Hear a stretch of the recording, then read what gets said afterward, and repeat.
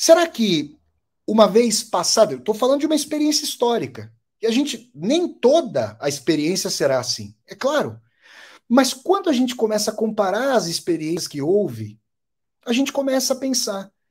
Para além da peculiaridade cultural histórica daquele país, existem fatores que, que fazem com que nós pensemos em condição humana, em psiquismo paralelo, comparado?